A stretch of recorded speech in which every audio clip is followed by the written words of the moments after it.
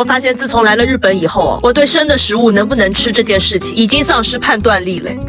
别人的生日哦都是跟朋友一起过，可不知道为什么我的生日却要被前辈抓来跟架子鼓一起过。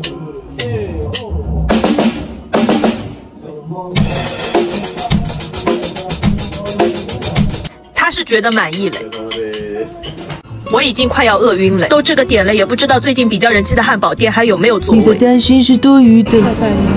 一开始我也没觉得这里的座位有多窄，可当我走到自己的座位，拉开椅子，想要放包的时候，才发现我的包根本就塞不进。最后，服务员小姐姐给了我一个筐子，我才能安安心心坐下来吃饭。刚一坐下，小姐姐就给我送上个生鸡蛋这个蛋。蛋黄好红，自从我坐下以后，这个打扮的像圣诞树一样的小哥，无时不刻想要吸引我的注意，我都无动于衷。直到他将一块牛油摆在铁板上，用铲子剁碎，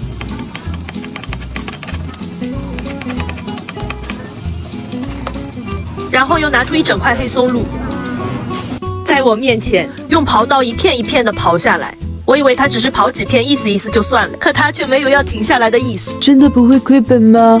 再往上面浇上一盆浸满蛋液的饭，在饭里挖个洞，用神秘的酱汁填满。这铁板一加热，香味全出来了。再这么翻炒两下，最后放到一个跟井一样深的碗里，一颗都不能浪费。再挖一个洞，倒上一颗浸满神秘酱汁的蛋黄，撒上细盐，再放上一撮葱花，我的黑松露蛋炒饭就做好了。接着拿出事先准备好的银块，把蛋黄戳破，让它充分与炒饭融合。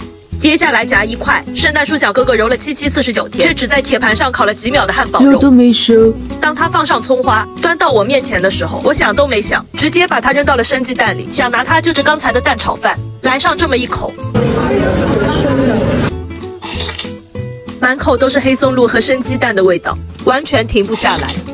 汉堡肉也是嫩到不行，一碗饭很快就见底嘞，肉却还有一半。于是我又问服务员要了一碗饭。等饭的时候看到对面的大哥，我才觉得事情有点不对劲。看到隔板上的食用说明，我才知道这汉堡肉不能就这样吃，要像图上说的那样，要自己在铁板上煮熟以后才能吃。